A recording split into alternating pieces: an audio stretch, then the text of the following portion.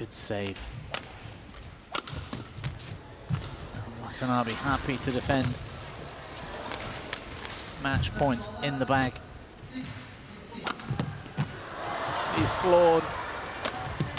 There it is. But what a final point that was for Koki Watanabe. Brilliant performance today. He got everything right. He had the better strategy. And a superb performance. Dives to the floor. For the first time.